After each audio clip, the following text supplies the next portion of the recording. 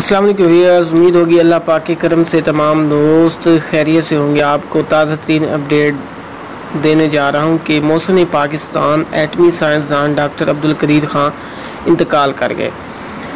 तो ये पाकिस्तान के बड़े मौसम थे, जिसकी वजह से पाकिस्तान एटमी कुत बना था। तो अब ये इस दुनिया में नहीं रहे, अल्लाह ताला इन्हें जन्नतफरदोस में आला मकाम अता फरमाए, आमीन। इन्ना व इन्ना राजिउन और इनका जो नमाज़ जनाजे का ऐलान किया गया है कि आज दोपहर तीन बजे शाह फैसल मस्जिद इस्लामाबाद में अदा किया जाए।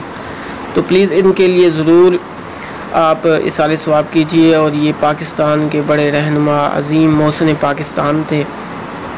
तो वज़ी दाखिला शेख रशीद ने भी इसकी तइद कर दी है कि वो इंतकाल करेंगे अल्लाह पाक इनको जन्नत फिरदोस में आला मकाम अता फरमाए और ये पाकिस्तान के पाकिस्तान को एटमी ताकत बनाने में, एटमी कुत बनाने में इनका अहम किरदार है।